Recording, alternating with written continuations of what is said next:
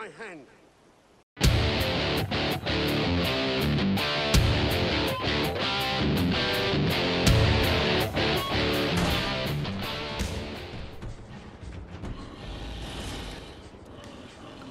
I remember the first time I played Wolfenstein The New Order, back in May of 2014. I was ecstatic to finally embark back in the shoes of BJ Blazkowicz and create hell-induced carnage on the Nazis once again. My first impressions of the opening level were shocking. For what seemed like a long time, a very long time, the abuse of first-person shooters had left a foul taste in my mouth. Generic cliches and over-exaggerated cinematic moments in your standard Call of Duty and Battlefield reminded me that there was no hope of a precious story or intimate characters that I could relate to.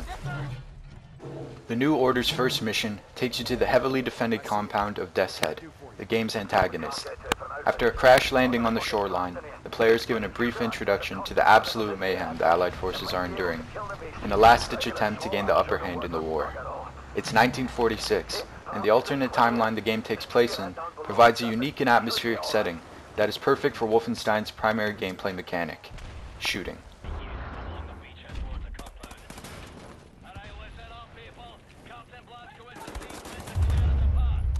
Blazkowicz at this time can carry a submachine gun, pistol, assault rifle, and grenades, but the stunning close-quarter combat in the bunker's trenches is so engaging and immersive with the top-notch sound and art design. Even though most of the game is set in the 1960s, this level echoes the nostalgic World War II levels of Medal of Honor and Call of Duty 2. It is this throwback with the twist of the Axis powers winning the war that provides a sense of dependency and last hope that is cinematically apparent in the brutal chaos of the battle. The brilliance of the New Order is that the gameplay coordinates with the story of an alternate timeline. The mission is to kill Death's Head. In every encounter, a new setting seeks to show the impending destruction of the compound and the downfall of the Allied forces. So how can one man, a one-man army, BJ Blazkowicz, take down the world's top Nazi general? The real answer is, he can't. No matter how many Nazis he kills, how many fucking big things he takes out, he'll never kill Death's Head. He won't. Or maybe till the, the finale of this game, but not in this mission, alright guys? BJ cannot kill Death's Head. So what does he have to do? He's gonna have to murk every fucking Nazi there is.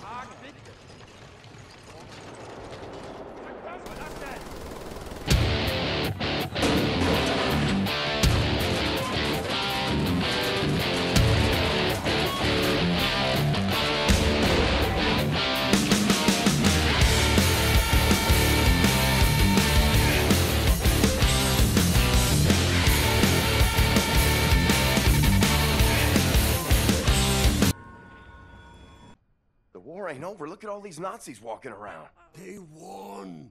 It's over. The Nazis rule the world now. They are everywhere.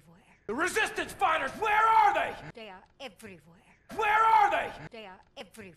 Where are they? Zur Hölle mit dir und deinem verdammten Widerstand! Okay! Okay, I tell you! Damn it! Where are you people keeping the captured resistance fighters? Where are they? What do you want to know?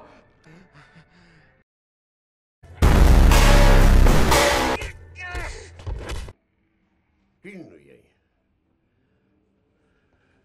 Rozumiemy się? Albo ja cię znajdę i zrobię ci krzywdę. Yo, Pierre, you wanna come?